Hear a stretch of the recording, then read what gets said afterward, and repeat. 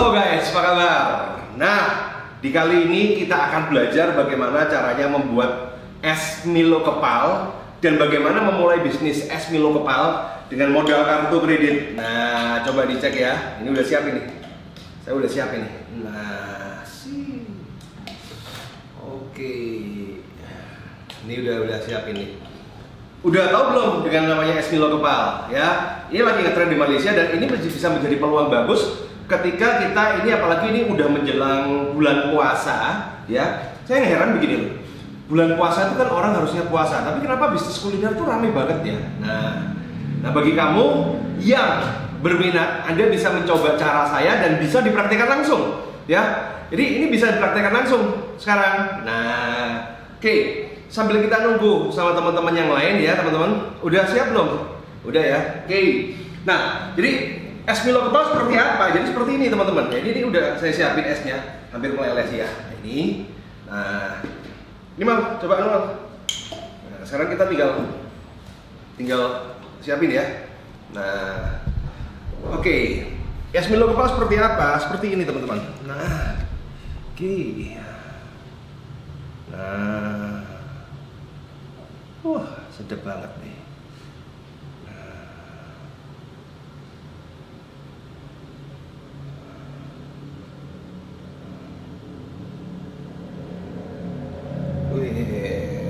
Sedap. Nah, terus biasanya kalau ini dikasih kacang-kacang seperti ini sih.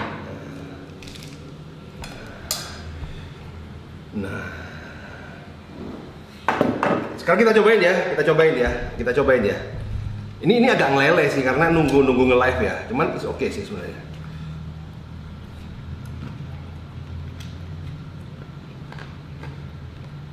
Nah, ini menarik, enak banget sih ya. Cuman agak ngeleleh karena aku nungguin nge live ini panas banget di sini. Hmm. Nah, sampai ngiler. Nah, kombinasi yang cocok, aku ngomong ini dengan dengan pakai pakai cop apa ya pakai kacang tuh enak banget sih jadi hmm.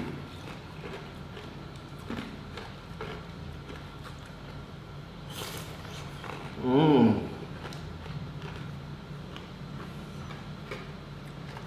Nah, udah. Ini bukan acara kuliner ya. nah, jadi ini lagi ke tren kekinian. Coba dicek aja di Google tentang es Milo kepal seperti apa. Nah, hari ini saya ingin share pada kalian tentang bagaimana Anda bisa berbisnis es Milo kepal ini dengan modal kartu kredit dan juga saat ini juga. Nah, ini menarik sekali, ya. Saya ada kelas namanya Credit Card Revolution, ya. Di mana di Credit Revolution saya mengajarkan orang untuk berbisnis dengan modal kartu kredit. Ketika kita berbicara bisnisnya apa, itu terserah Anda gitu loh anda mau bisnis es Milo kepal bisa, akan saya tunjukkan dengan modal kartu kredit saat ini. Anda mau bisnis kuliner, oke. Okay. Anda mau bisnis online bisa. Jadi kartu kredit itu sebagai permodalan alternatif dalam berbisnis. Dan saya udah membuktikan bahwa di kartu kredit untuk skala UMKM ini adalah permodalan terbaik nomor dua di dunia. Ya, nomor dua di dunia nih. Nomor satunya adalah apa? Modal sendiri. Kalau lu punya duitnya. Nah masalahnya kalau lu gak punya duitnya gimana tuh ya? Nah dibanding instrumen kredit yang lain, kartu kredit is the best ya nomor dua selain modal sendiri. Nah sekarang sebenarnya gimana sih caranya ya? Apalagi kita berbicara tahun 2018 ini membuat usaha itu jauh lebih mudah dibandingkan tahun-tahun yang empat tahun yang lalu, lima tahun yang lalu kalau anda tahu caranya dan jauh lebih murah ya. Nah anda bisa melakukan bisnis es kepala tuh hari ini kalau Anda tidak ada alasan apa-apa lagi. Bagaimana caranya? Simple ya. Saya akan mengajarkannya. Jadi simple teman-teman ya. Bagaimana caranya berbisnis dengan modal kartu kredit? Saya mengajarkan satu cara yang simple bagaimana kita membuat es Milo kepala itu bisnis itu dengan modal kartu kredit. Gampang. Dari handphone Anda aja pun Anda sekarang udah bisa praktek. Caranya adalah apa? Simple aja ya anda buka aja Tokopedia atau Bukalapak atau Shopee whatever ya. Nah, kemudian Anda cari aja kan es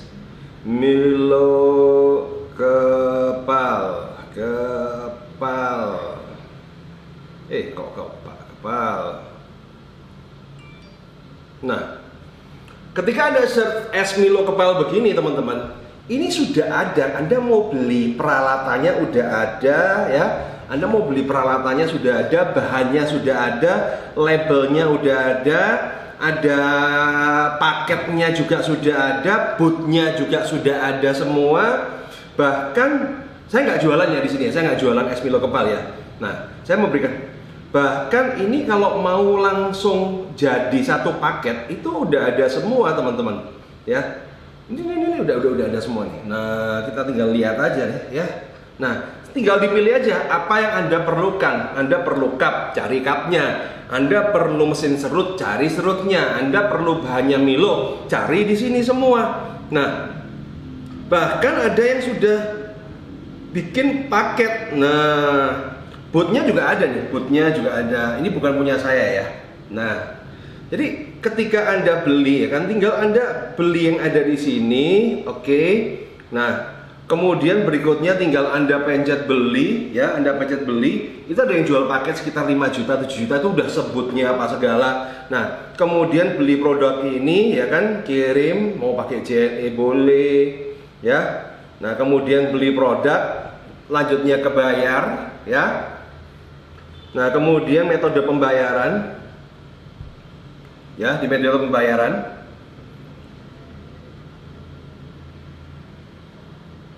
Nih, Anda bisa langsung pakai Anda langsung bisa isi 16 angka di nomor kartu kredit Anda masuk sini, langsung transaksi dan enaknya Anda bisa ngerubah cicilan mau 3 bulan, 6 bulan, 12 bulan 0%. It's very very easy ya. Jadi jangan sampai Anda itu mati kutu kehabisan ide karena sekarang ide itu justru banyak teman-teman, apalagi menggunakan kartu kredit. Kalau saya zaman saya dulu buka kafe ini belum ada Tokopedia buka lapak ya. Ketika saya mau mulai berbisnis dengan modal kartu kredit, saya harus gestun dulu, pegang duitnya dulu, kemudian mulai belanja belanja. Hari ini bisa dibilang gestun itu udah nggak ada gitu loh.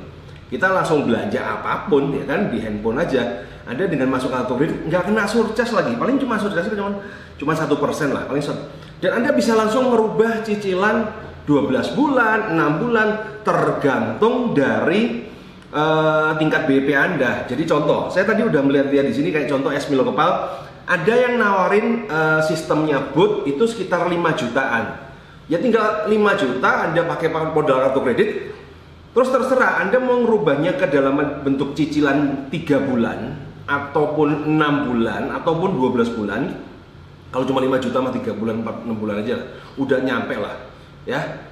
Dan Anda udah mulai prepare, Anda udah mulai bisnis, Anda nggak usah fokus bingung cari cari apa ya ide bisnis apa. Anda tinggal jalan, tinggal step berikutnya adalah bagaimana Anda bisa meramaikan usaha Anda. Nah, dengan promosi, dengan uniqueness apa pun itu. Jadi ini adalah satu langkah simple dan sebenarnya di kartu kredit Anda bisa membuat banyak bisnis yang lain. Itu sebenarnya kayak bisa dibilang kartu kredit itu kayak Lego lah. Anda mau bangun apa pun bisa. Yang penting Anda tahu strateginya, tahu perhitungannya. Kenapa? Anda harus paham teman-teman. Ya, utang itu seperti leverage ya. Sama ketika berbisnis itu punya karyawan itu leverage. Pertanyaan saya, ketika Anda handle karyawan satu sama handle karyawan 20 sama nggak caranya? Pasti beda dong.